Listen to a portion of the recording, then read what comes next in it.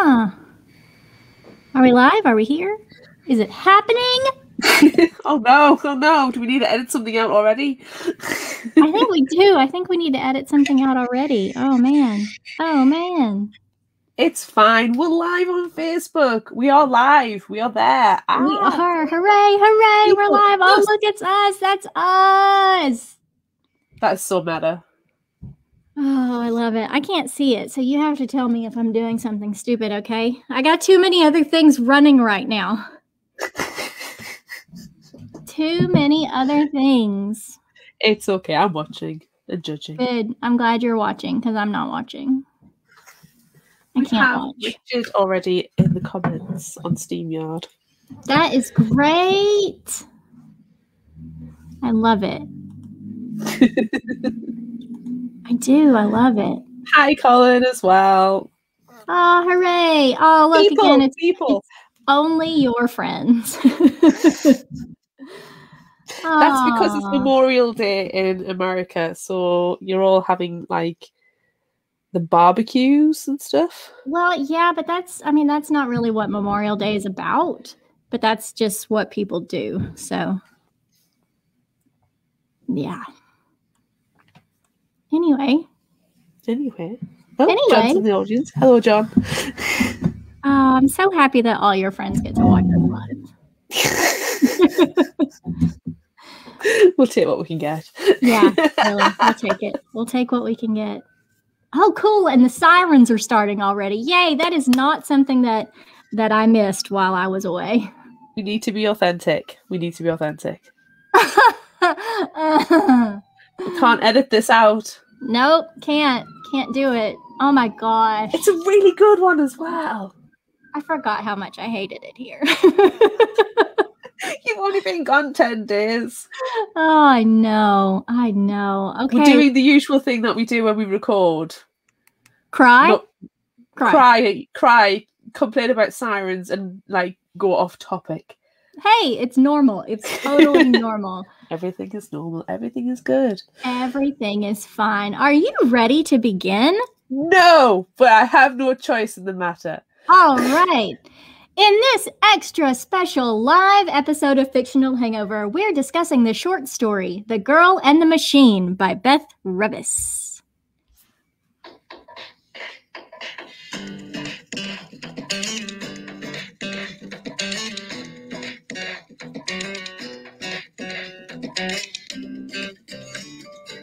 Hey, everybody, welcome to this live episode of Fictional Hangover, a podcast about young adult and new adult books, series, authors, and voice actors that is full of spoilers. I'm Amanda. And I'm Claire. And today we're going to discuss The Girl and the Machine by Beth Revis. Yay! Yay. at last, at last. At last! I've been waiting to read this one for like a whole year to talk about it on the show.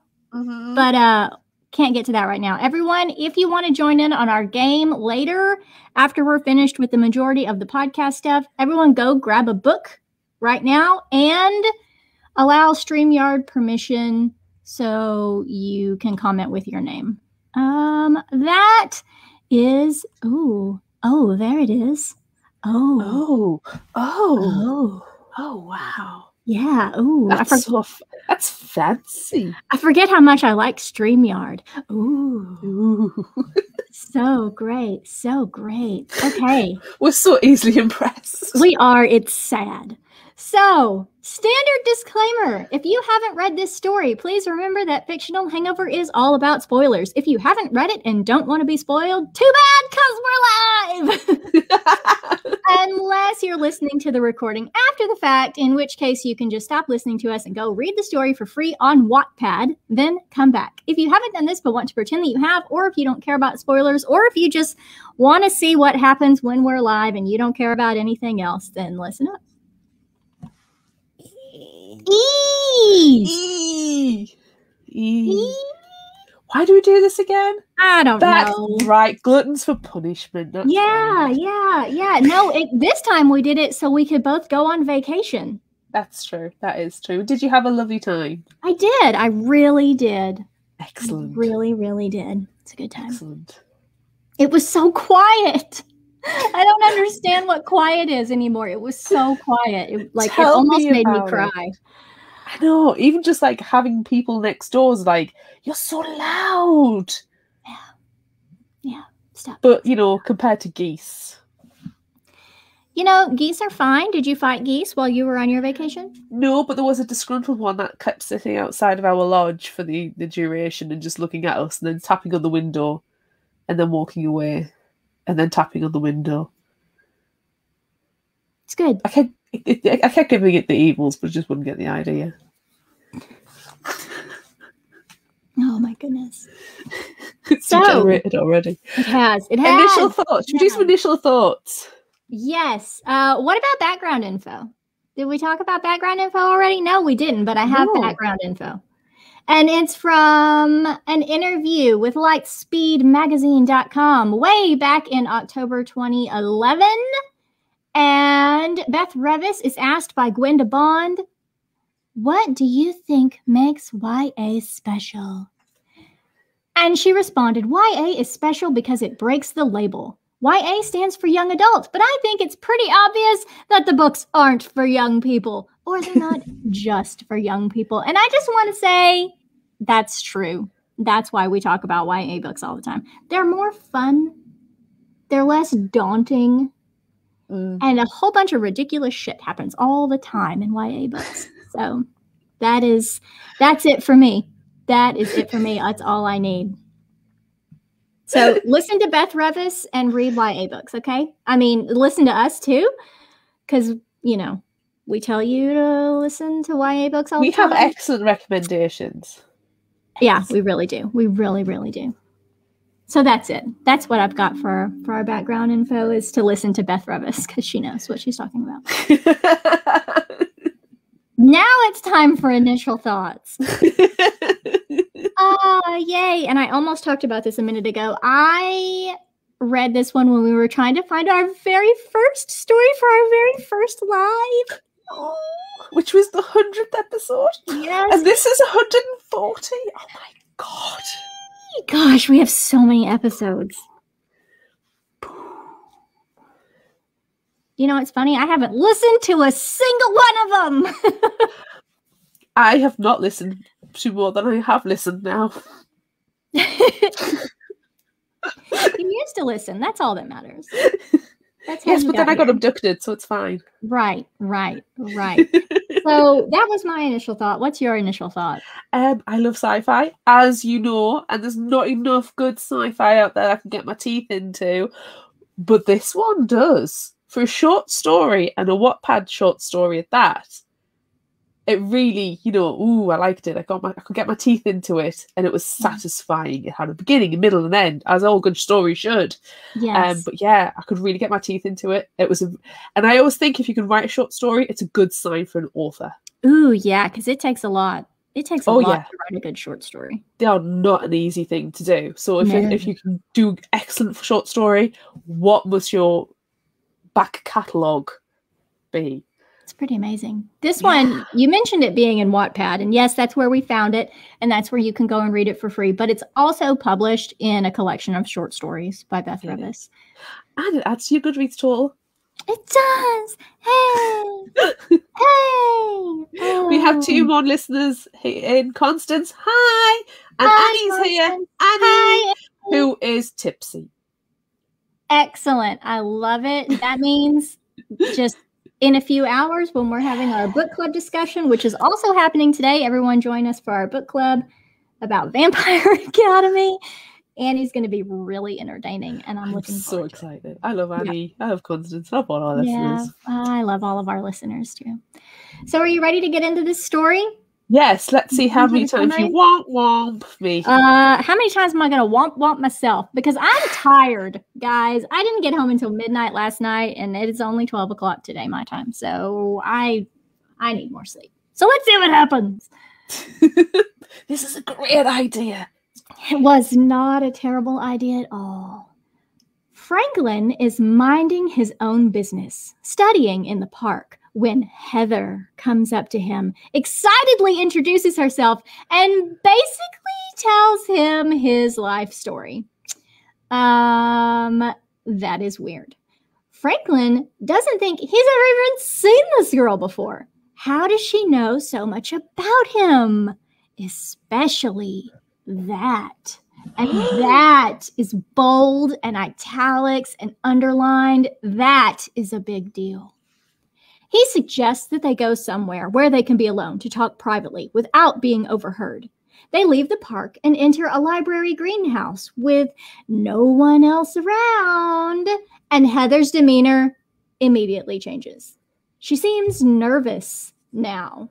Franklin says it's not every day someone comes up to you and reveals your deepest, darkest secret. Heather's response it's not every day you meet a time traveler. what? time Yes! travel! Yes!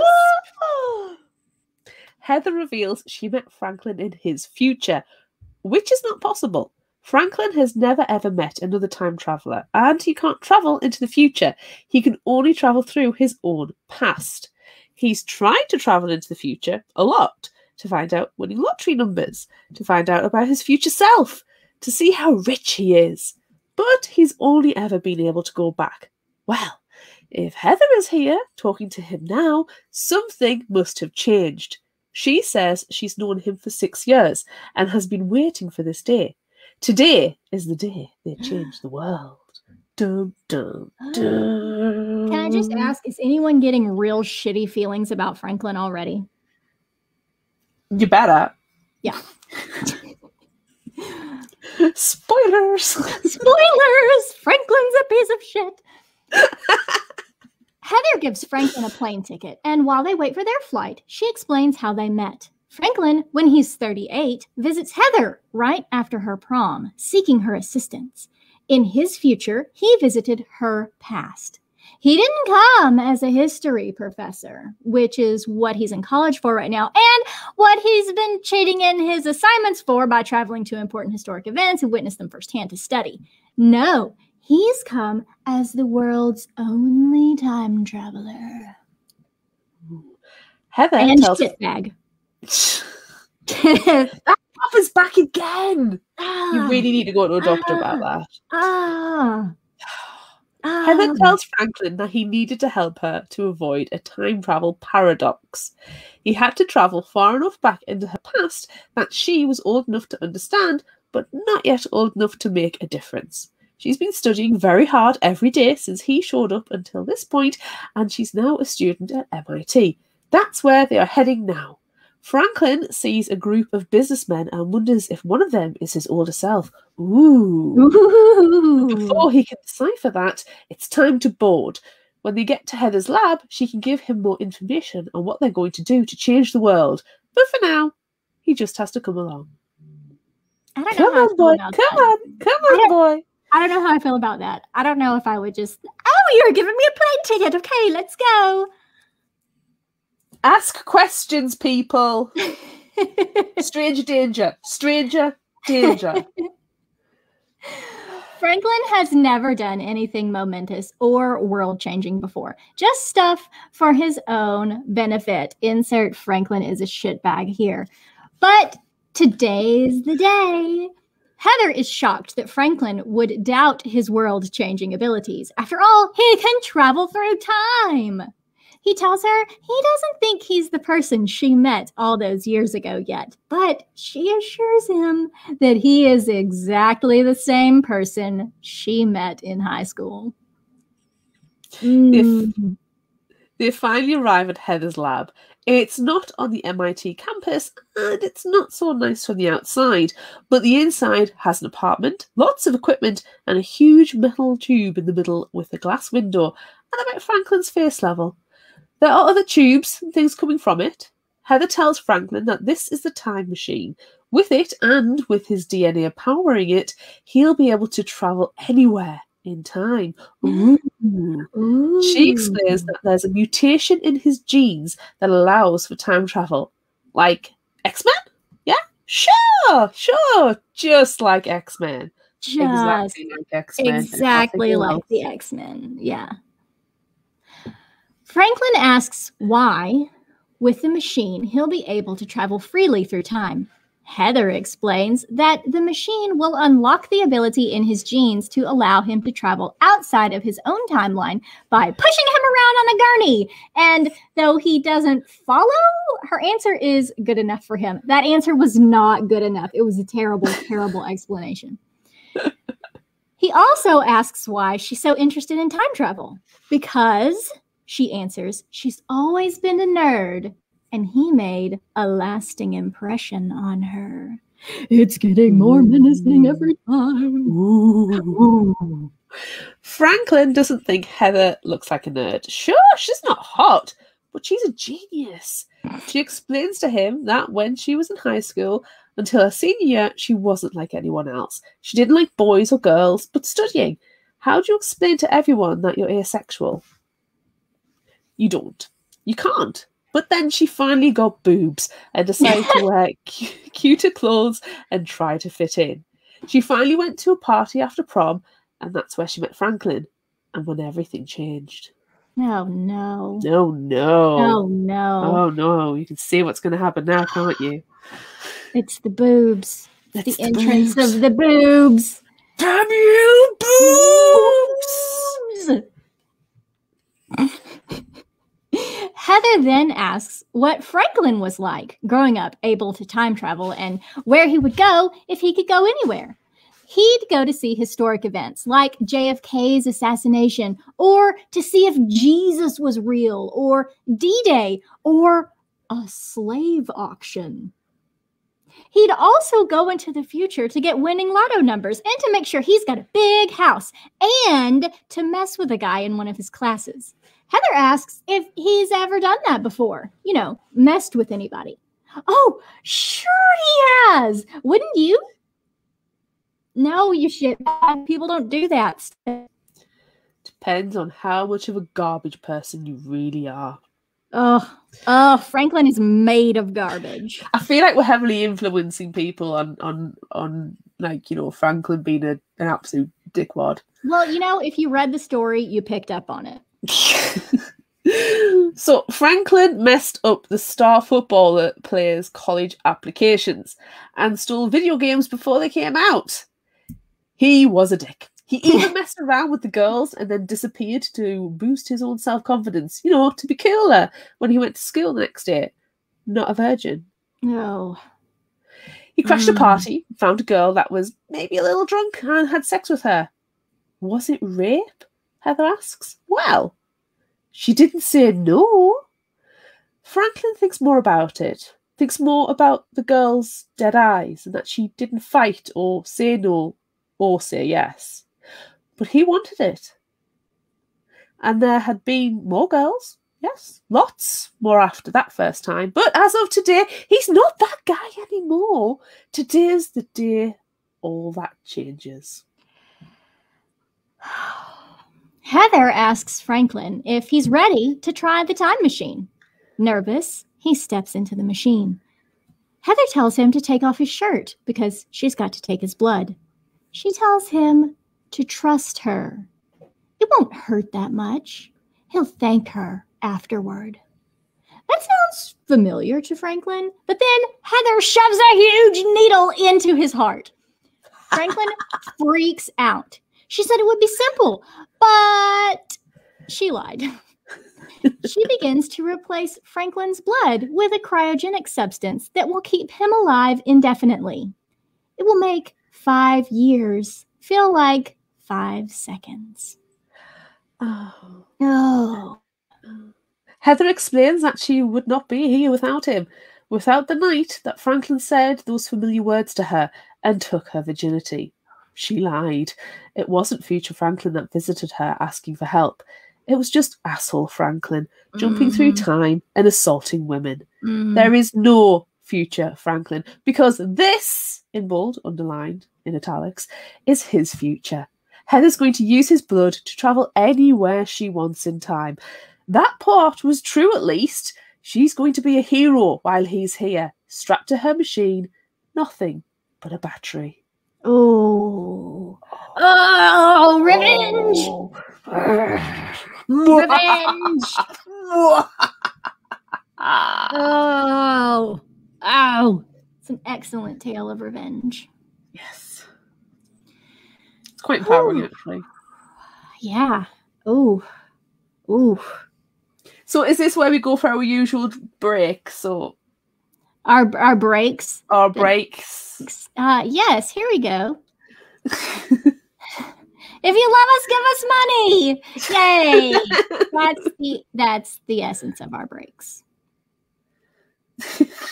That's it. I'm just reading through the comments. Constance is in capitals, rage, garbage person. Colin, this guy's a total shitbag. And Richard, X Men Days of Sex Pest Past. Oh, that's good. Yeah. Um, yep. yep. Oh man. That Franklin. That Franklin man, he's shitty. Yes. And for those who have read the book, as you read uh, the, the, the short story as you're reading it, in the four part Saturdays, you can tell it's going to degenerate quite heavily. You're just waiting for that shoe to drop. And it's like, oh, yes, I knew he was a dick. Oh. Oh, but did you know he was that much of a dick? Because yikes. No. Hang on, have we started our discussion? I think we have. Oh, do I need to turn off the message? Oh, everyone money. Um. You Love us. That's the end of the advertisement. oh, yeah. So, standout moments, huh? Franklin's a dick. Yeah, That's a I- yeah. The actual when you get to it, the, the bit, and you're like, yes, my my feelings of hatred towards this person is finally validated. That is a good feeling. I mean, what he did is wrong Yes. in every sense of the word. Yes. Yeah. But Yeah. Heather's retribution, human battery. Mm. Okay, does it make me a garbage person that thinks, great? You know, I can't help but feel that, you know, Heather slash Beth Revis as the author has finally found a way for scumbags to like give back to society. Let's turn them all into human batteries. yes. Let's make Yes. use of their dis- their essence. Yes. Let's take all sexual abusers and turn them into human batteries. I think that is a great plan. And you know, if we could if we could actually hook people up like that and uh, you know, time travel with them, they would serve a purpose in society. I need I mean, to be fair, it doesn't have to be time travel. That would be awesome. But you know, just power a city, that would be fine. you know? Yeah, I feel like we're getting into some weird, like gritty dystopian future with people hooked up to machines, like constantly running on treadmills. This is our fanfic, Commander. This is our fanfic. I don't want to be a part of this fanfic. We're, we're going into a dystopian bad. future. However, it's a dystopian future where everybody's like, eh, it's fine. It's fine. It's fine. oh, Just take the cryogenic goo out of them, replace the blood, put them back out. It's a bit, it's a little bit demolition man at that point, to be fair. it is. Yeah, and I would be very just- upset if Sandra Bullock didn't come out and you know say murder, death, kill, and show me how to use the three Mm. seashells at this point. No, no. See, I was going to talk about the three seashells too, and that no one knows how to use them. It's not a thing. It's not a thing that people understand. It's the No. seashells. it's No, it's the mystery of the universe. It is. Do you think if we were able to time travel, we would learn the secret of the seashells? No, Because it doesn't have an answer, does it? it doesn't have an answer. It is just a mystery. Yeah. Yeah. Okay. Yikes. Do you think if we had time travel, we'd be able to understand Wesley Snipes' hair in Demolition Man? there is because nothing wrong with his hair. it's- it's just- Man. I need to know who made the decision because it's outstanding. Like I mean, every time I picture Wesley Snipes, I picture him in Demolition Man. yeah. Not in Or Blade. To Wong Foo. No. wow, I'm surprised. I know. Or, you know, when he's in To Wong Foo. Thanks for everything, Julie Newmar. Yeah. Those are all good Wesley Snipes. Those are all good. Those are all good Wesley Snipes. Yeah. Okay, we're going down the wrong rabbit hole We are going down the wrong rabbit hole. Uh, yikes. Yes, use our time travel powers to reverse that segment Yes. start over again. Done. Yes. Okay. Oh, this is a tough one to talk about, though. You know, It because is. it's it's very heavy and it's not funny. It's yikes. No, I but I think we can talk at least about the way that it was done on, you know, how Beth Revis was able to accomplish something in such a short story. Mhm. Like I got to the fourth part and kept clicking next part, next part. I wanted more. And then I was like, actually, no, I'm very satisfied with where this has gone. And then I considered, do I would I want to know more about Heather's hijinks through time? I don't know that I would because I would hate to think that Heather has turned into the scumbag. Ooh, yeah. What do you think she went to change in the past? Because if like are we gonna are we gonna have an alternate 1985 here? Is she gonna go back and stop what happened to her after prom happening? And then if she does that, you know, that just that breaks the timeline if we're following back to the future rules. But if we if we follow the rules of paradox, then if she kills Franklin any point before he can become a sexual predator, then yeah, it's a loop. It's a weird. Yeah, I don't think you can. But what I think she can do is use it to go back and prevent other people's. She's really taken one for the team then. Yeah, I, I can imagine her. She's she's this is her vigilante kind of origin story. She she's you know she's she's she's not Batman, but it's the same as Batman. She's had something traumatic happen to her of a different degree, and she's using that, it quote unquote, for good. Yeah. She's not a Mm. crime fighter. She is a vigilante, but I can imagine that's what she's doing. Or she might do it in other ways. She, you know, she wants to use it to change the world. But then actually, we're, we're, we're saying Heather is naturally going to be a good person. Who's to say she's going to use that power responsibly? She's got to be good. Heather can't be bad. Although Heather probably is going to end up doing something terrible. But that what that's what makes this a good story because, you know, yeah, Franklin is terrible. He's he's the most terrible person ever. But you know, Heather she's not the greatest.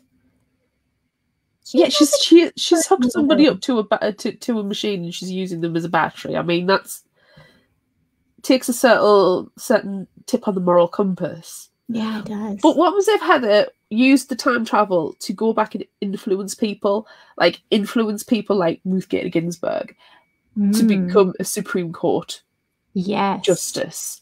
yes. You know, so she's indirectly helping and being that active feminist person rather than going for the vigilante justice. She's going for the people who can actually perform lawful justice. Mm, yes. Yes. She's judge, jury, and executioner all on her own. But without actually committing Without any- actually yes. executing anyone. She's just Yeah. executing her evil plans. But in good She- ways. Exactly. It could just be that she's been that you know when you know when you say, Oh, I, I read that book, I just found this book in the library and it changed my life. Mhm. She's the person who put that book on the shelf. Ooh, yeah. Yeah? Yeah. She's the person who, you know, you bump into in the street and they say that one line and you're just going, Yeah, that person Mhm. that smiles at you and changes your day. That's Yeah. what she's doing. She's not going out murdering people because again, that's tipping the scales into an area we don't want to go to. But Yeah. yeah, Creating a supervillain. yeah. It's the anti-hero syndrome. It you do bad doing is. good. Yeah. Yeah. I mean, you, sometimes you do have to do bad things in order for great things to happen. Ooh. It's a Ooh. weird moral quandary. It it's really funny. It's is. a, it's It a funny end. Ooh. Ooh. Oof. Oof. Uh, so who's your favorite character? Hmm. Franklin or Heather? Hmm. Mmm. Mmm. Hmm. Yikes. Can we just talk about how terrible Franklin is? Yes. Because, like, all of the things that he talked about doing traveling through time, especially, especially when she's telling him how the time machine's going to work after, you know, it's powered with his X Men genes. She's like, yeah, you can go anywhere. And she's pushing him around in circles on the gurney. Um, And he's like, Yeah, I want to go back in time to watch a slave auction. Like, really? That's that's what you want to do? In everything that you can possibly do in time, you want to see the president's head explode. You want to witness a slave auction. You want to see if Jesus is real. And you know what? I'm guessing if he picks a time to see if Jesus is real, it's probably not going to be a very pleasant time in Jesus's No. life. No. This guy is yikes. Yeah. Yeah.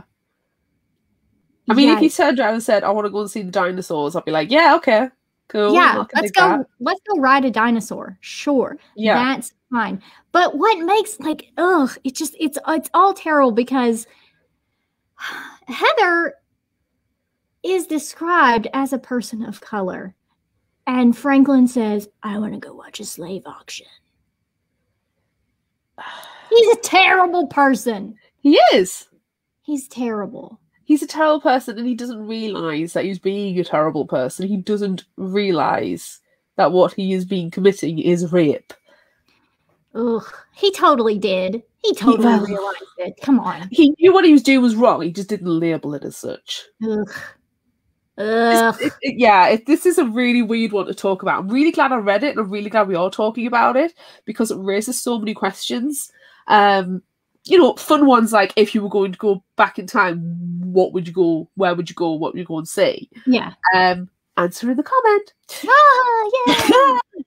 Coral Uh, is here, by the way, and she says hello. Or hi. Hi, Coral. Hey, Um, but hi, Coral. also it kind of like makes you question, you know, the justice system, the moral compass of people. You know, she's taken she she's taken the justice that would not have probably happened if it went through the normal courts. And that's just purely based on, you know, statistics in the news of people saying I have been raped and then the person being found guilty. Yeah. So you can, you, and again, it's different for a woman reading it to a man who would have read it. You know, um, where they might fall on that justice, sys- like that scale of justice. Do you, you know, do, do you think, do you think that might have anything to do with it? I don't know. Um, I don't know that I would say that there should be a difference between uh, any gender reading this story because you should all realize we should all realize that Franklin is terrible and what's happening is bad, and there Yeah. needs to be something that comes from it. Yeah, I think the unfortunate case is we've seen in the news, and I'm thinking of um, American Supreme Court um, appointees, where it's the boys will be boys justification. Yeah. Well, girls will be girls and make human batteries. oh, Colin in the comments says hook the fucker up to the battery. So right? Girls yeah. will girls will be girls and make human batteries. I think that's I think that would, you know, a long, long time ago we used to do life lessons. yeah, At the end, I think that would be the life lesson. yeah, I agree. mean, I agree. Yeah. So, were there any surprises in the four pages of short story? Uh that Heather figured out a way to steal Franklin's life essence to travel through time. Yeah, that girl has smarts, doesn't she? Yeah, she does. And I mean, you know, not that she just yikes. Yeah. Because she I was also surprised- do that. Yeah, I was surprised that Franklin didn't realise sooner that he was an absolute scumbag dick. Took a while to get there. Yeah. Oh. Oh, What Constance, Constance is um, turning Turn him into a eunuch. into a eunuch as well. So not only is he going to be a human battery, he's going to lose his bits. Yes, he's gonna be a Fair enough. Ballless battery. I think that's fine. I think that's That's fine. Oh my goodness. I think that we need to play Would You Rather because it will Yeah, be a let's little move on. bit, a little bit more fun. So is it time? It's time. It's, it's time. time. It's definitely time. We're moving on quickly. It's time for Would You Rather. Hooray, hooray, hooray. So, Yay. we asked on social media if you had the time travel ability, would you travel to the past or to the future? Now, I will say the polls at time of recording live are still open. Um, so this is a time. Uh, this is just a snapshot. So on Facebook, 86% said past and 14% said future. On Instagram, 43% said past and 57% said future. On Twitter, it was 62.5% said past and 37.5% future. And on TikTok, it was 49% past and 51% future. We have comments. We do have comments. But I just want to say we asked this question last week. So, yeah, because we asked our next question. Yes. Ah, yeah. So Wah, you wah. basically lied to everyone. You basically Wah, wah. I don't even know what day of the week it is. To me, this should be a Mhm. Thursday. should be a Thursday, but it's not a Thursday. So comments, right? Comments. Oh, we have comments. Yes. Evil Night in Void on TikTok said, Future, so I can travel to any universe I want. I like that. I like that. They're going very far into the future. Star Trek far. Yeah, and that's fine. Yes. Constance on TikTok. I'm not going to sing the song, but Constance quoted the song Journey to the Past from what I can only assume is Anastasia and she wants to travel to the past, but I'm not I'm not going to read the whole thing. But she's quoting the song. Can you rap Sure. it? No, I'm not gonna. It's not it's not worth it. It's not good. I'm too tired for that. But I just love that Constance responds in song lyrics. So I want to put that challenge forth to Constance from now on. Only answer in song lyrics. That is your challenge. that sucks. That Ready? sucks. No. Probably because I'm completely rubbish at song lyrics. Colin said, Past, please. Future leads to finding out about terrible occurrences and manners of death, which would freak me the freak out. Past leads to seeing cool events like the moon landings and dinosaurs, which are both objectively awesome things. So let's do that thing where we go to the past. Yay! Sorry. yeah. Yay! It Yeah. will no doubt have been a Kermit the Frog. Yay. Good. Uh Constance has accepted our challenge. Which is oh, important. well, well done, Yeah. Constance. Oh, Coral on Facebook said, I choose past, going to make the future better if I can, which is good. We can always count on Coral for a nice, like, heartwarming answer. Yes, and she would make the future a better She place. really, really, really would. Be great. Nina on Facebook said, The past for sure. Let's just say I'd do a few things differently if I could. Ooh, intriguing. I wonder what Nina's got going on over there. Um, PLP, no, PL Palmer one on Instagram. Oops, oops, no, no, I'm pressing the wrong button. It's sad trombones all over the place. Ah! PL Palmer one on Instagram is traveling to the past. Okay. Real Jackson Fraud on Instagram is also traveling to the past. I got some shit to fix. Hmm. Don Kurtgich on Instagram, the past for sure. And Crinolin Lefroy on Instagram. Annie, I'm sorry, I can never say your Instagram handle.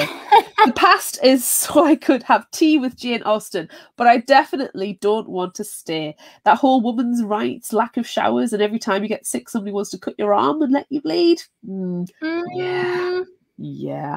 mm. We have had Richard in the comments say, past defo, take me back to the 90s. I want to relive Spice Mania. And I look you straight in the camera, dead in the eyes, Richard, and say, no, Why do you pick Spice No. Girls? because he is a huge stereotype. Hmm. Okay. Okay. So, what do you say? He's going to zig a zig ah in the comments in a second, I can tell. Well, we can only hope for that. What do There's I another say? challenge. There's another That's another challenge challenge. issued to a listener. Richard only respond with Spice Girls from now on. he could as well. I don't doubt it. I'm going to the past. I want to see the dinosaurs. I want to meet Jane Austen. You know, I don't want to know about the future because that will leads to bad places. I don't want to know what happens to the world. I don't want to know what happens to me or family. You know, because I can only imagine terrible, terrible things. I want to, you know, go and see great things. I want to go I want to go to Drury Lane and full regalia and go and sit in a box and watch a show. I want to go to the past and see a, a, Shakespeare, uh, Shakespeare at the Globe, the actual Globe, but not just the recreation Globe that I've been to. I want to go to the Tower of London and see an execution. Sorry, not sorry. But it has like Anne Boleyn or something. You know, I'm not going to influence it, but you know, at least kind of want to say I've been there. Mm, okay. Okay.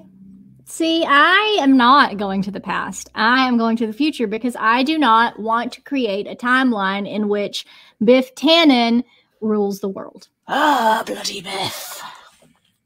Don't So- do a Biff is another life lesson from today. Don't do a Biff. Don't do a Biff. Yeah, I'm not I'm not going to do it. I don't I don't want to go to the past because I don't want to mess up the future. I'll go fuck around in the future and do whatever I want. And, You know, who knows if that's the future that we're even gonna experience? Maybe me going to the future and doing that ruins it to begin with. I don't know how time travel works, so I'm gonna go into the future. Nobody really knows That's how time the travel end works. of that It's sentence. okay, next Yikes, question. next question. Would you rather travel back in time to play video games or to take a nap? This is this is more our like this is this is more our style. Video games and napping. That's the power that we choose to yield. Take a nap. I really, I really could use some sleep. Um, yeah, I could always use some sleep. I'm going to take a nap. yeah. Yeah, okay. You know, um I feel like if I traveled back in time to take a nap, then I could play my video games later. I'd have time. Well, I wouldn't be as sleepy. So that's what I'm doing. I'm also going to take a nap. But you know what? One of my childhood traumas is the fact that my mum made us get rid of our Sinclair ZX Spectrum when my brother got his Amiga. Only one console or gaming unit was allowed in the house. So I lost the Sinclair ZX Spectrum so my brother could play freaking Mortal Kombat on the Amiga and play it badly because I beat him every time I played him. So this is a childhood trauma, you can tell there's a bitness there. So Yeah. the fact I could Yeah. go back in time and play on the Sinclair ZX Spectrum with its cassette tape games, that is attractive. But I'm an adult. Adult being being an adult is very tiring. I need the nap. I need the Yeah. rest. Yeah. I like that you're choosing to travel back in time to play really old video games too. That makes it better. Like you're traveling very far back in. Well, if I'm going to travel back in time, I want to actually travel back to experience, you know, the 8 bit renaissance, you know, the onset of all of this. I never had a Game Boy, I never had a Super Nintendo, or any of these, because, like I say, my Oh, mum no. said, one console in the house, and my brother had the had it. So, you know, we never, I, I never experienced that. I would go around friends and play down their Super Nintendo, or their Nintendos, or, you know, a friend would lend me a, a Game Boy for a couple of days. So I never had any of that. So if I was going to go back in time, it would be. But again, because I didn't have it in the house, I have to go back to Sinclair ZX Spectrum, which is the one time I did. Um, I would be like, this adult stranger knocking on a kid's door. Hi, eight year old. Um, you don't know me, me? But can I play on your Super Nintendo? I really want to get to the end of Super Mario. It's a bit weird. Yeah. I'm sorry, I just got distracted by all of Constance's comments because they are all in song lyrics. so That, that girl's good at Google. really good. Really oh gosh, good. the play the, the playing GoldenEye. in the Yeah, I know. I love that Richard is going back in time to play GoldenEye. He's also going back in time to play 90s games. And I hope that he's listening to Spice Girls at the same time. He will. He will. Good. Good. Looks like uh Colin's taking a nap. Constance is singing Metallica. Ah. Oh, Next question. Yes. Would you rather go back in time and change one thing or go forward in time to find out something big? look it i'm not going back in time i'm not i'm not biffing the situation i'm not doing it so i will go forward in time to find out something big and then probably by the time i get back to my own timeline to make the big thing happen it won't happen. But still i'm not going back in time. I'm not doing it. Who knows what would if happen. you go forward in time and you get the sports almanac and then come back to your time and then start playing, the, you know, the the winning results from sports almanac, so if i bring that is that is still biffing the timeline because that's what Biff did. Yeah, but but I mean that that's not at all what I said I was going to do. I said I would go forward to see it, and then when I get back, it it wouldn't happen. So, uh, if I were to go forward in time to get the sports almanac, and then come back to my own time and create everything from there, and then I myself became Biff, well, I would be a better Biff. I wouldn't be a sleaze bag with casinos everywhere. I would do something good with my money. I would not I would not be a biff. I would not take the sports almanac back to 1955 though. That's not a good idea. Don't do it. do you know? Do you know what I would do? I'm sorry, I'm being mercenary here. I don't care. I'm going back in time and I'm inventing YouTube or Google or Amazon. I will invent it. Will you actually invent it though? Will you learn how to invent it and do everything? Well, I'll be the do, or will you just do- discover it? Just I will what, whatever's going to gain me the most money. Uh, that's what I'm going for. But You're biffing yourself. I'm biffing myself. But I'm not going to be the absolute scumbag and just keep billions and billions and billions of dollars to myself. I will pay off student loans just randomly, anonymously. I want to. I want. I, I want to be able to live a ridiculously comfortable lifestyle. I want to be able to pay for my friends and families to live that ridiculously comfortable lifestyle with their own islands. That's fine. But I'm also going. This that this, it's ridiculous amounts of money we're talking about here, so I can splurge it on. I mean, saying splurging on charities, splurging on paying off student debts, splurging on you know being able to give people you know a, a living wage. I kind of want to do it for good. I'm. I don't want to be a complete garbage person. I mean, oh, okay. Okay. oh, sorry, Jeff Bezos. What? What? You lose out here. But I don't care. So what I I'm. I could do a better job with your money. what I'm gathering here as that is that we would both positively biff our own timelines Yes. for the greater good. Yes. Okay. I will sponsor fictional hangover as well with my billions Thanks. Thanks. Yeah. because I've bought Waffle House as well. Right. Okay. Okay. And then I will fund any future things that we do with my future money. Yes. You sponsor us with your past money, and I will pay for every future expense with my future money. Yes. But we'll be able to record at the same time because we can just, you know, hop to each other's islands to do the recording. Right. Yes. Yeah.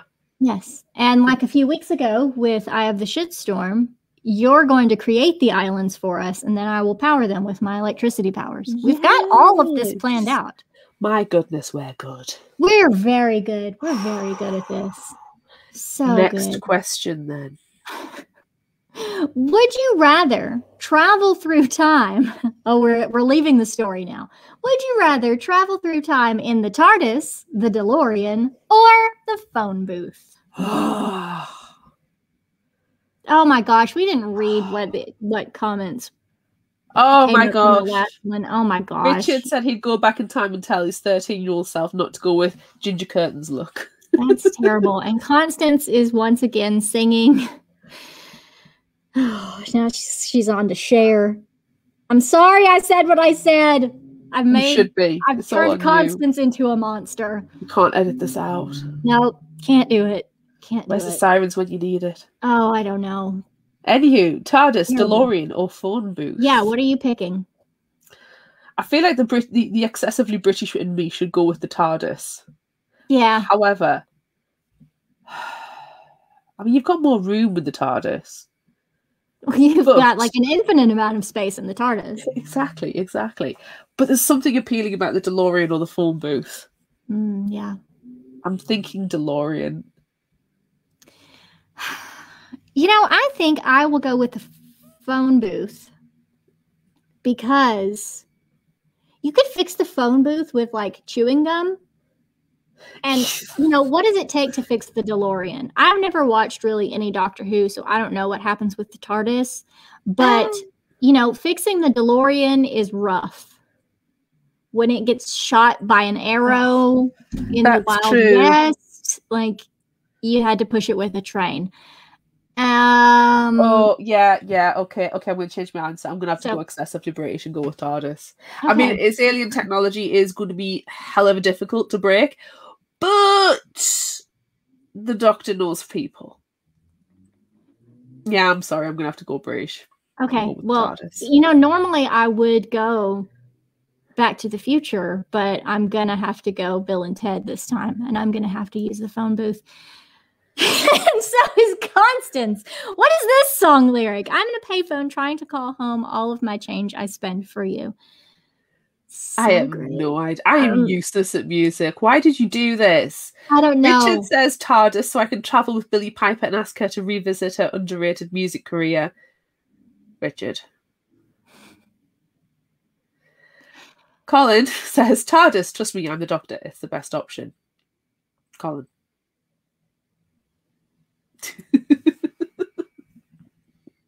Oh my gosh. Okay. Last question. Last question. Would you rather travel through time with a Who companion, Doc Brown, or Rufus? Okay, now see here, here is where I am going back to the future. I'm going to go with Doc Brown because he's a mad scientist. And he created the DeLorean. I mean, he didn't create the DeLorean, but he created time travel by hitting his head on the toilet. So, who knows what he could come up with to do. So, That's true. so I'm going to I'm going to go with the mad scientist. I'm going to go with Rufus. Yeah? because George Carlin is hella funny, and Yeah. I just I, I just need that in my life. I just need the So is Christopher Lloyd. well, yes, but also I don't know, I don't know. There's just something majestic in his his prose, so I'm gonna go with Rufus. Plus, I mean, fashion icon. I mean, Doc Brown. Um, excuse me, when he went into the future and he came back wearing that clear tie, I've wanted a clear tie ever since. Well, okay, I will grant you the clear tie, but I'm sorry, but Rufus with his glasses and those shoulder pads. Um, Hello. Doc Brown had some good glasses too. Um, Driving the DeLorean, the great big silver, like I had Yeah. some very similar to that. Very similar. But yeah, okay. I'm glad that that's like we're choosing our companions based on their futuristic outfits. what is your future fashion choices? This is important. What do I need to wear in the future? Plastic ties? Get a skin replacement? Yes, doing it. Doing it. and then you peel off your face and you look exactly the same underneath. Nice. Oh, Doc Brown. Oh, Doc Brown. Well, Colin is joining you with Doc Brown because he likes his Good. hair. And Good. Richard, who companion? You want to know why? Because I want to. Because I want to. Good. Good. I'm both proud and upset by that. Hmm. Damn you, Billie Piper. Oh God. Constance, no, I'm not I'm not reading that out. I already lack dignity. It's fine. It's fine. It's just it's just proof that she's on my side because I'm just gonna say that she's picking Doc Brown because of all of the doctors in the in that song lyric. So Yeah, but that's also proof that she could be picking the Who companion. Because no, Doctor, Doctor, Doctor. no, no, she can't physically speak up for herself right now. So I am choosing her answer for her. Shocking. Shocking. I know, I know. Shocking. I know, I'm so shocked. Move on. oh, favorite final thought quote? Is that where we are now? Favorite Yeah. final thought quote? it's only a four-page short story. I haven't got the millions I usually pluck out. I've got I know. one. I know it's I've shocking. I also only have one. Cool. We normally have at least six. I know. well, to be fair, when we have more than that, we end up having cut them down. Can't Sure. edit that one out. No, who? Okay, I'm going with today's the day when everything changes, Heather said. Today's the day we change the world. Mm, it's a good one. What have you got? I'm also going with a Heather quote. All I'm going to take from you now is your time. Oh, and it doesn't sound bad when you take it out of context, but it's so bad in the story and it's perfect. Perfect. So, so good. Ooh, okay, now it's time for if you liked this, try this. That one's really loud for some reason when I play it, not, you know, adding it into my editing file. Really loud. So, what are you going to suggest? Oh, well, I've, I'm very sure I've already suggested this at one point, but it's my favourite time travel series, so you're getting it again. And it's the Chronicles of St. Mary's series, and the first book is called Just One Damn Thing After Another, and it's by Jodi Taylor. And I will point out there is a historical seamstress in here. She will make perfect recreations of any and all outfits historically accurate, but you'll use modern materials where necessary, like Kevlar, because they get shot at. Excellent.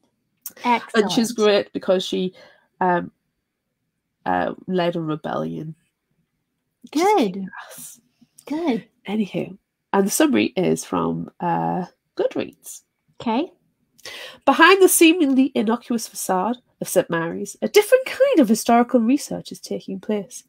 They don't do time travel, they investigate major historical events in contemporary time.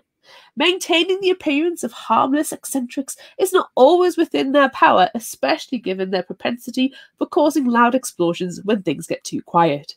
Meet the disaster magnets of St. Mary's Institute of Historical Research as they ricochet around history. Their aim is to observe and document, to try and find the answers to many of history's unanswered questions, and not to die in the process. But one wrong move and history will fight back to the death. And as mm. soon they discover it's not just history they're fighting, follow the catastrophe curve from 11th century London to World War One, and from the Cretaceous period to the destruction of the Great Library at Alexandria. For wherever history historians go, chaos is sure to follow in their wake. I just read book 12, and there are many short stories all available on Audible as well. Some of them are exclusives. And Zara Ramm is the audiobook narrator, and she does uh, a stellar job throughout. It's absolutely excellent. It is excessively British. They drink a lot of tea. It's important, though. Very important. But I highly, highly recommend it. Yeah. It's really good. Really, really What's good. yours? Mine is called A Long, Long Sleep by Anna Sheehan. And I chose this one because I read it at the s- like right around the same time that I read another one of Beth Revis's books Across the Universe. And it kind of gave me kind of gave me some time vibes. Okay? This summary is also from Goodreads. It should have been a short suspended animation sleep, but this time, Rose wakes up to find her past is long gone and her future full of peril. Rosalinda Fitzroy has been asleep for 62 years when she is woken by a kiss. Ah. Locked away in a chemically induced slumber of a stasis tube in a forgotten sub basement, 16 year old Rose slept straight through the dark times that killed millions and utterly changed the world she knew. Now, her parents and her first love are long gone, and Rose, hailed upon her awakening as the long lost heir to an interplanetary empire, is thrust alone into a future which she is viewed as either a freak or a threat. Desperate to put the past behind her and adapt to her new world, Rose finds herself drawn to the boy who kissed her awake, hoping that he can help her to start fresh. But when a deadly danger jeopardizes her fragile new existence, Rose must face the ghosts of her past with open eyes, or be left without any future at all. Ooh. Ooh. Interesting. Yeah, yeah, it's a lot of fun. It's a lot of fun. It was a good story. I like it. Yeah. Is that it? Oh, is that it? Is that all? Is that all we have? Um, you know what I think we should do? It is alive. Yes, it is alive, but and we are of course going to play our game. But I feel like we should go ahead and wrap up the show. And you know what I'm going to do? I am going to edit it. I am going to edit it a little bit. I'm going to edit out the game because no one wants to listen to us rifle through pages for one minute at a time. Okay. So that's it for this live episode of Fictional Hangover. I'm Amanda. And I'm Claire. Join us next time as we discuss Going Bovine by Libba Bray. Look out for our Would You Rather polls on social media. Don't forget about our book club and monthly challenges on Facebook. Be sure to visit our shop on Redbubble at fictionalhangover.redbubble.com for all your favorite fictional hangover themed merchandise and become a patron of ours on Patreon at patreon.com slash fictional hangover. Until next remember, the only fictional hangover another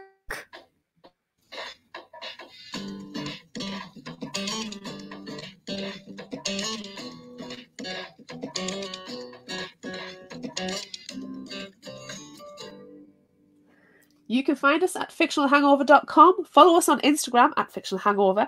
Find us on Facebook at facebook.com forward slash fictionalhangover, and on Twitter at fictional hangover, no ER. If you like this episode, check out our others and be sure to rate and review and subscribe so you don't miss out. Special thanks to Lyss Emerson for our music. You can find her on Facebook and Patreon. And an extra special thanks to StefInk Creations for our live artwork. You can buy her artwork on Redbubble and Etsy. Thanks for listening. Yay! Yay! Excellent. I'm so glad we actually say that like in one go on the lives because doesn't happen in the recordings. No, do you remember that one time when we made the recording and it took you like 20 minutes to read your paragraph? It was good times. It was good I made so many mistakes and I had to turn my camera off so I couldn't see you anymore. It was good. It was a really good time. I enjoyed it. So, The game. yes, we are going to play our game. I'm now. here for the game, not for the discussion. You're not here for the discussion. That's that's nice. That's really nice. Uh, so everyone, go and grab your books, and I am going to remember how to share this video. With I picked four books and each one has a different reason for it. I picked three books, and they So- also had reasons. I picked Mina and the Undead because we talked about it on the show and it's very good. And Amy McCaw is a stellar person and we've adopted her into our family. And I've picked Last One to Die by Cynthia Murphy, which we are going to cover. And Cynthia Murphy should be on the show, and we are probably going to adopt her into our family. Yes, And Vampire Academy, because of course. It's Because of ongoing series of conversations. Next month is the last episode of the main series before we start on Bloodlines. So I have the 10th anniversary edition of Vampire Academy. So, of course. And because I keep recommending it and talking about it, so I have to cover it. I've got Rat Queens, which is a graphic novel, and it's my wild card, which has not been on and will not be on because eh, not YA. oh, good. Oh, that's good. Okay, let's see if Amanda can share a screen, but keep me and Claire uh, there as well. Let's see what happens. We'll share this. Oh, oh, oh. That looks Oh, excellent. Hey, hey. There it is. Woo. I assume that we're still on the screen. I don't know what it looks like for everyone. All I, I- can It's see. working. It's working. It's working. If I was in the Yay. if I was actively in the comments, I would put a round of applause just for you. Thank in fact, I- I, you. probably still. I probably you. can. Hey, guess what I can do? Hey. Yeah. There we go. Round of applause. I got to use those extra sound effects. You've got them for a reason. I've got them for a reason. Okay. So, My precarious balancing though has been ruined. There we are. Books, books, books. What books did you pick? I chose Harrow Lake by Perfect. Kat Ellis. I chose Midnight Sun by Stephenie Meyer. And I chose Eye of the Shitstorm by Jackson Ford. You can't not choose a Teagan Frosty book because they're full of fantastic quotes. Well, yes, exactly, and that's one of the reasons why I didn't because I knew you would go for a, a, a I- Jackson Ford. I know. I'm I'm- sorry. I love him No, too. no, it's fine. It's perfectly fine. It's perfectly fine. I'm, I'm, I'm so glad I suggested we read um Girl Who Could Move Shit with Her Mind. And actually, it's Colin's fault that we read it as well because he's the one who picked it up in the bookshop and said, "This looks good," and I went, "Yes, yes, it does." So, Great. there we go. Great. So yeah, yeah. great. But Jackson Ford's a fantastic person. Go and listen to the interview episodes. They're very, very good. Very Yeah, entertaining. really. Yeah, really. Oh, okay. All right. Uh, so are we ready to play? I think we are. And everything's still working properly? Yes, I'm looking at it. It's all groovy. Good. Okay, everyone grab your book and let's begin. Do we remember the rules? Grab a book, Yes. study the prompt, search your book for sequential text to match the prompt. Everyone has one minute to find their answer. And then we're going to take turns sharing answers when it's time. Right? And no doubt people in the comments will win again because you always do. Yeah. Yeah. I'm resigned to this. All right. Here's the first one a reaction to discovering treasure. A reaction to discovering treasure. Oh, and look, there's our little timer going down. I'm so proud of my little timer. It's not on our screen. It's not live. It's not on the on the screen, just so you know. It's still on the PowerPoint screen, not full screen. Well, that's interesting. Can I stop sharing and try again? Can yeah, because it gives me now? more time to. Ah ha ha! Aha, you're funny. That's interesting that it won't uh that it won't show what it looks like. What does it look like now? What does it look like now, Claire? Does it Just say us. time's up? Just, us. Just us? Cool! I love it when things work well.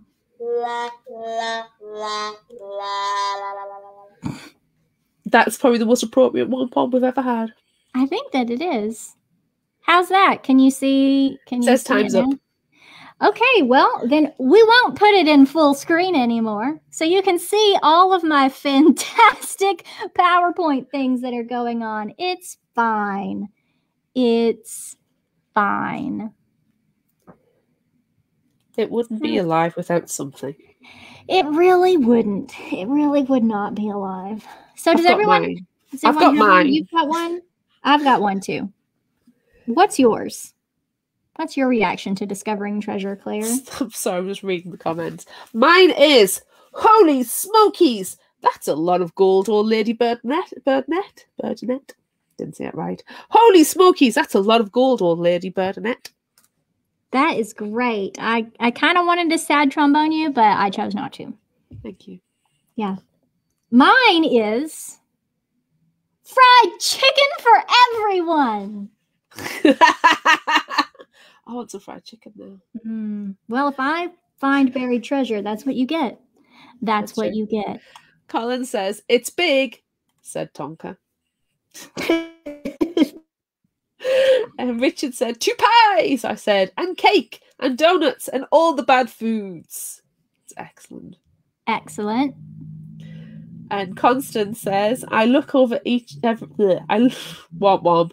I look over every inch, wondering if maybe I should try wiping at the blackness to see the face underneath. That's oh, dark. That She's is dark. dark. I tried She not to go dark. dark. I tried not to go dark with mine. Yeah, I try. Le- I I try levity.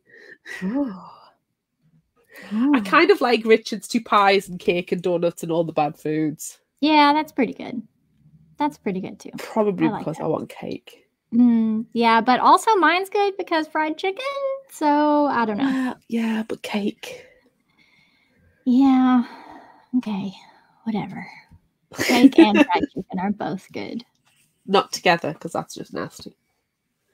Is it? You don't eat like cake as a dessert? You don't have to eat them both in the same mouthful. No, Fried chickens and and with cake at the same time's nasty. Like separate separate parts of the meal. That's all. I'm judging you. I'm judging you. I'm not Scottish. I don't deep fry everything. Hmm. All right, let's move on to our next one. A name for a cat. a cat, a cat, a cat. You say? A name for a cat. That being attacked by bugs. A name for a cat. Ah. Hmm. I already have mine. Mine. Uh. Mine is the whole reason why I chose one book. I know it's kind of cheating that we know the questions in advance, but you know what? Deal with it. Deal with it. Okay, okay, okay. Time's up. Oh, Yeah. look, time's up. I'm so sad that we can't watch my little timer go down. So proud about my little timer. Name for a cat. What's your name for a cat, Claire? Asshole troll. Good. Asshole is a great name for a cat. That's very good. Without being a cat owner, it feels appropriate. Hmm. What have you got? Uh, Mr. Jitters. Just Mr. Jitters in general. oh, shock! Are you using Harrow Lake? I am using Harrow Lake. Mr. Jitters is an excellent name for a cat, really especially is. if it's a lady cat. Because it would just be funnier that way.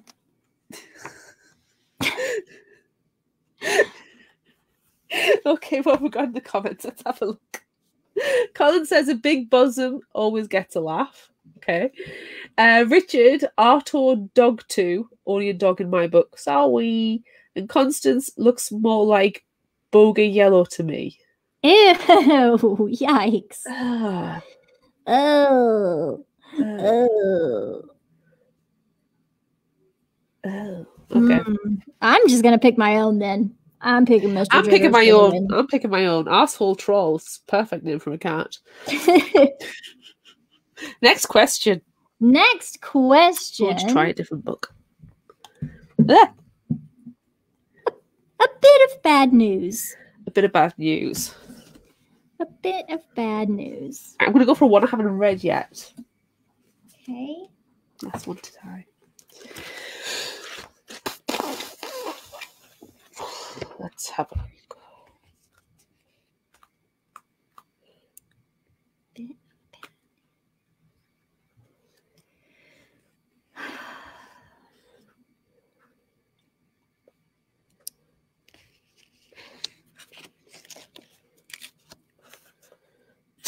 Okay. Well, okay.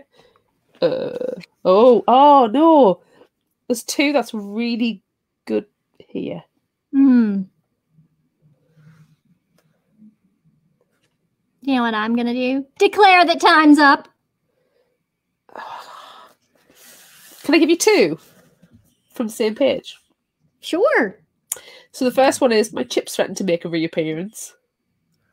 Hmm. That is a bit of bad But the, news. the one I'm thinking I might go with is it's hair, all of it. It's plaited and woven, weaved into pictures and decorations, shades of brown and yellowed blonde, faded red. It's all human hair taken from people who have died.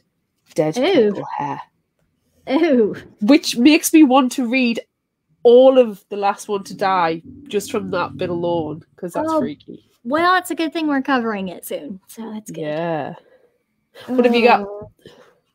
Um, mine is I may express a desire to punch you in the dick. That goes perfectly with Colin's. Women can get beaten for that sort of thing. Oh. Oh, that that is a bit of bad news. Mm. Constance, what are you cooking up here, Stace? Oh, the excrement. Excrement. Ew, ew, that is definitely bad news. Ew, excrement. No, thank you. Okay, I think Constance has won that one. Oh, no, we've got one. We've got one from Richard. That was the moment a little kid opened the plastic egg she'd got, she just got off the golden goose, and screamed as a half decomposed mouse and a load of hypodermic needles fell out of it. Bloody hell! What are you reading? Oh, they Are you- tie. With R two Dog two and and golden geese with hypodermic needles. Oh, I like it. Yeah. Ugh. Ugh. All right. Next one. A message in a bottle.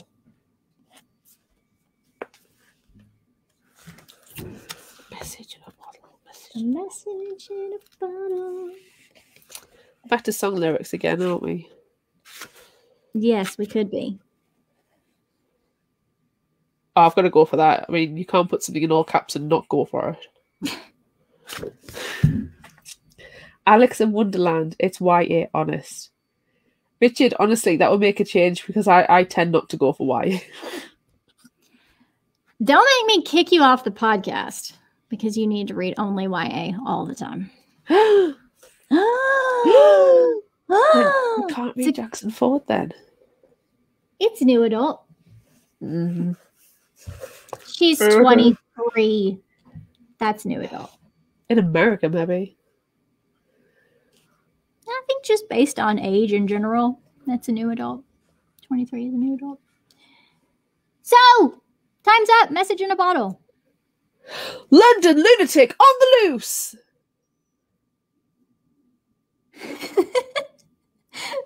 that, would be, that would be terrible to get because when did it happen? Is it happening right now? Exactly. it's terrible. exactly. Is it right now? Is it 100 years ago? What's going on? Is Can they the not future? communicate that the only way they can do it is through a message in a bottle? Oh, oh, so many oh. questions. So many terrible, questions. terrible. Uh, mine is where the hell is my bag? Which would be great if you're on a deserted island and you get that in a bottle. Richard says, no fries? Oh, that would be Oh. sad. It's like you're Oh. sending the bottle back to like your fast food order and like Uber Eats. Send me my, my, my fries. Colin's is just bugger. And Constance, I just took a sponge bath. I quite like Colin's for that one. Just a message in a bottle and all it says bugger. It's like, yeah, okay, so we need more context for this, but it's just it's precious just as it is. Just one Yeah. word. I like the odd announcement of sponge baths. Yeah. What are people well, we know what Richard's reading. What's what's everybody else reading? Or grabbed. Keep it sensible, people. Next question. Next Come on. question. What a. Something, What a roll. something you'll lie awake thinking about tonight. Let's go for some Mina and the Undead. Oh, nice. Nice. I am going to Midnight Sun with this one. Ooh. Ah, Jake Abel's voice. I know. That's what you're going to lie awake thinking about tonight is Jake Abel's voice. I need to find the line here that says Jake Abel's voice, but unfortunately, I know for a fact it's not in here. No, I feel like the next time we play this game, we should play it with using old episodes of the podcast and use our terrible old comments and quotes and things. I think it would be a great idea. That's a perfect idea. Oh, yeah. Yeah, it's a perfect idea. Okay, I've got one. Me too. I had to find this one on purpose because it, it's the first thing I thought of. What's yours? It had a touch of Gary Oldman's Dracula. Oh, and then you can think of me. it is highly accurate, to be fair. I do lie awake at night going, why? Why? Hmm. Especially since I've recently rewatched it. What have you got? Hmm. I have Emmett flipped the gaudy STI into oncoming traffic. Why? Why, Evan? Why did you do that? car? Oh, ah, this is this is ah. just we're just going back to this episode discussion again. We're just digging it up. Ah, just why? Let's have a look. Why? So Colin's reading Monstrous Regiment by Terry Pratchett. You could always rely on a Terry Pratchett book. And his response to this one is loosen his loosen his gag perks. Okay. Okay. And Constance is reading Blue is for Nightmares. I was going to pick that one as the book that we are going to read in the future, but I thought "Mm, I'll opt against it and go for something that I know a little bit better. Because I flicked through it more. Sorry. oh, and her response is whipping a Scooby Doo slipper at Amber's head. I know people who would agree with that and say, yes, that is highly accurate. It's very good. I can't wait till we read that one.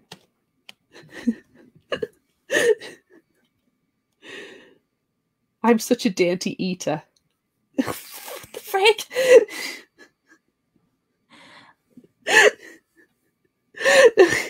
Constance is selling this book just through the courts. This is amazing. To be fair, Alex in Wonderland is also being sold through the courts as well. Oh, very good. Do we have any more? We have some more questions we could do, yes, but I just noticed that I've done them somehow out of order because we haven't done strange first words for a child, have we? So let's go to that one. Strange first words for a child. Okay, okay, okay, okay. Uh,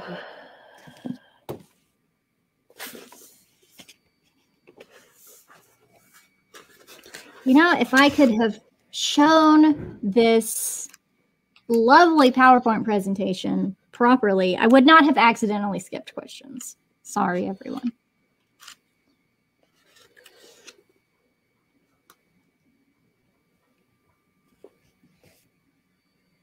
Oh, you got to go back to Eye of the Shitstorm for this one.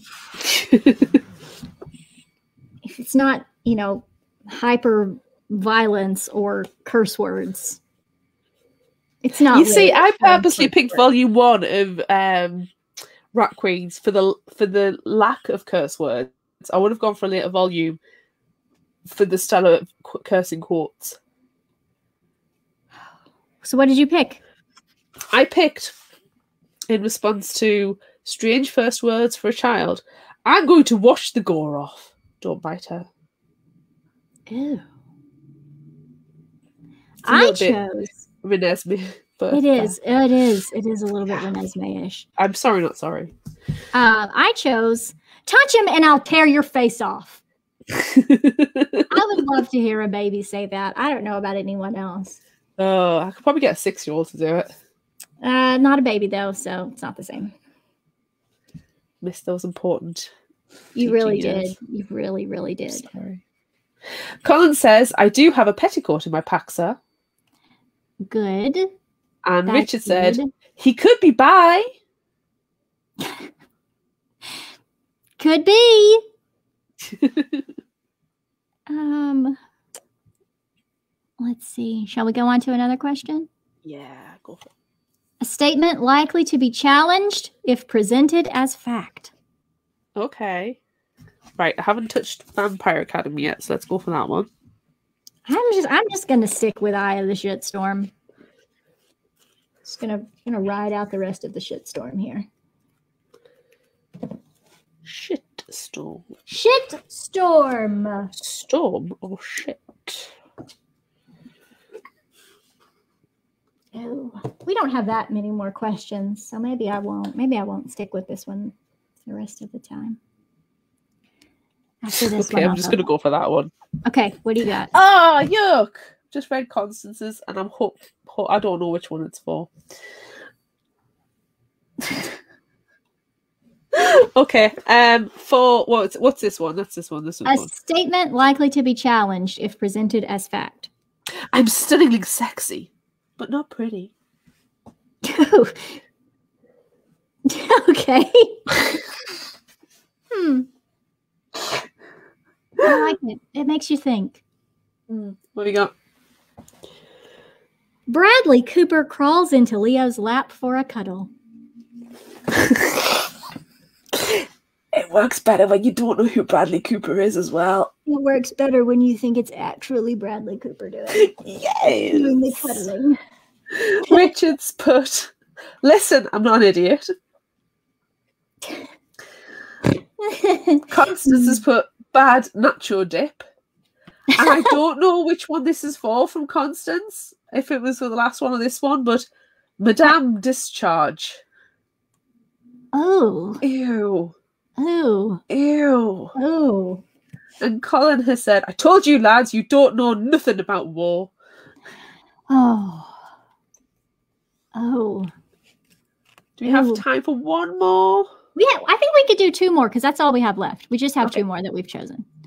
A line that's sarcastic when you replace a name with Captain Obvious. Oh god.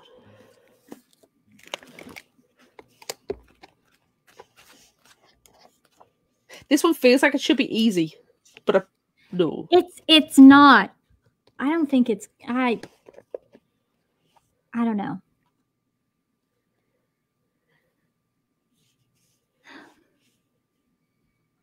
Do I have to replace somebody's name with Captain Obvious as well? Yeah, yeah, you do. Oh shoot. I struggle with this. I struggle with this one. Okay.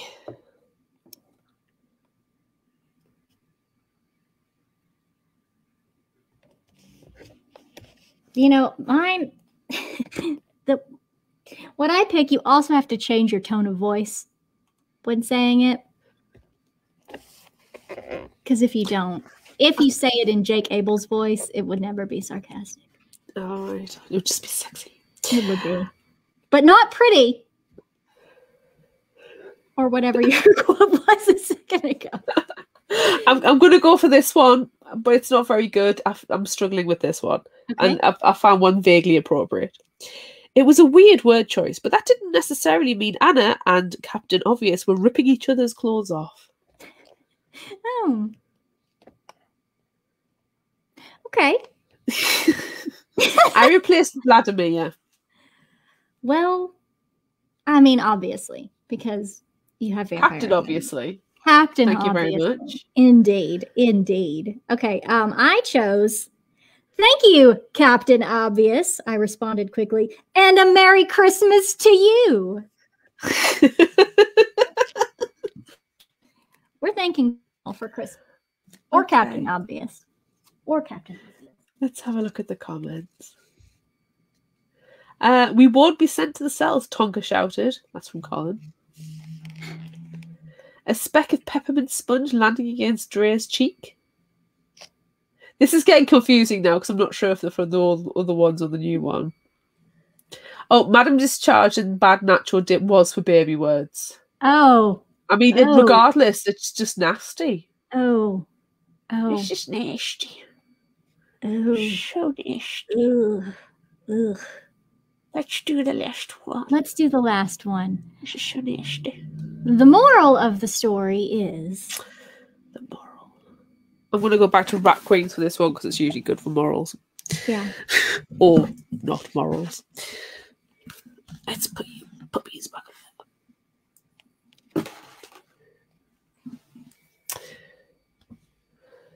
I I'm going with Harrow Lake. The moral of the story is don't go back to your childhood home. That is a great moral. AF. The moral of the story is don't stab your father. Don't throw a woman in a hole. Spoiler alert!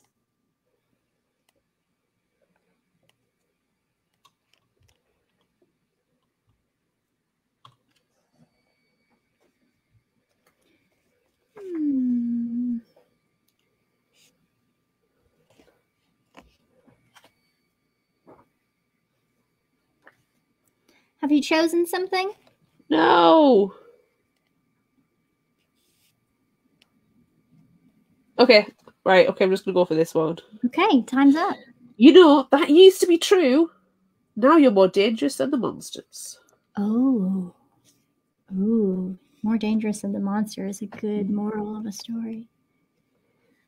Um, I am going to say the moral of the story is I found a better one. Yeah. Hmm. wouldn't want to tangle with a coyote. Can I give you my better one? Which is Sure. it's on the same page. Yes. We can sit around and bitch, or we can make some monsters bleed. And my Mm. sword is hungry for blood. Oh, that's good. I mean, I don't know if it compares with tangling with a coyote, but it's pretty good. Hungry Pretty good. Good. Pretty good. It's good. It's good. Pretty good. It's good. What have we got? Okay, Richard, and then he licked the machine with his tongue. Mmm. Have a care, I said, is from Colin.